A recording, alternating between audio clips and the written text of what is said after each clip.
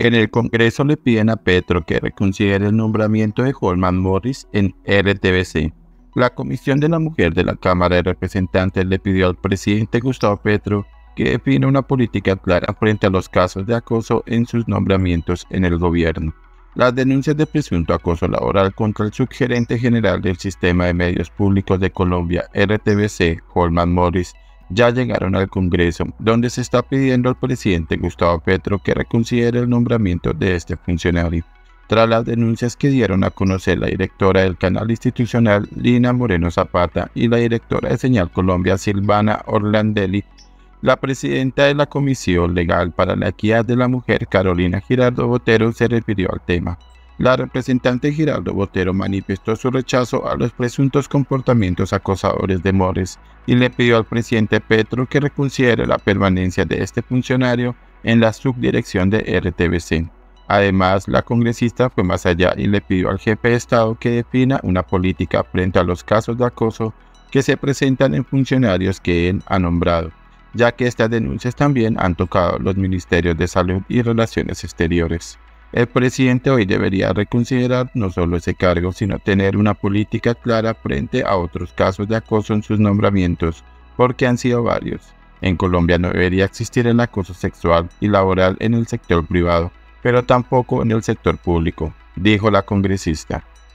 Girardo Botero además fue crítica con la gestión del gobierno Petro cuando sale a la luz pública este tipo de denuncias de acoso y señaló que no se envía un buen mensaje del gobierno del cambio cuando no se nombra personas señaladas de acoso.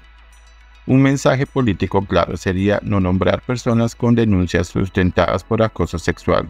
El caso de Holman Morris se ha convertido en un caso emblemático porque a pesar de las denuncias que han sido persistentes, sigue siendo tenido en cuenta para cargos altos y esto envía un mensaje grave para la sociedad que el acoso es permitido, apuntó la representante. A esta voz de rechazo por lo ocurrido con Morris se unió la representante Jennifer Pedraza del Partido Dignidad y Compromiso, quien señaló que el funcionario debería ser apartado de su cargo ante la gravedad de las denuncias. Toda mi solidaridad con las mujeres que denunciaron.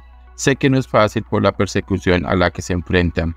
Presidente Gustavo Petro, ¿qué más debe pasar para que existan de otorgarle cargos y poder a Morris? ¿Cuántas denuncias debe acumular a costa del bienestar de las mujeres? cuestionó Pedraza. Por otra parte, también salieron voces en defensa de Morris, como la del director de la Sociedad de Activos Especiales SAE, Daniel Rojas Medellín, quien apoyó una teoría de supuesta persecución contra el comunicador social y desestimó las denuncias de acoso laboral en su contra. Aparecieron las llaves. Solidaridad con Forman Morris. Ser agente de cambio trae enormes consecuencias. Se recibe juego externo y fuego amigo, pero no se puede desfallecer. Adelante, dijo el director de la SAE en sus redes sociales.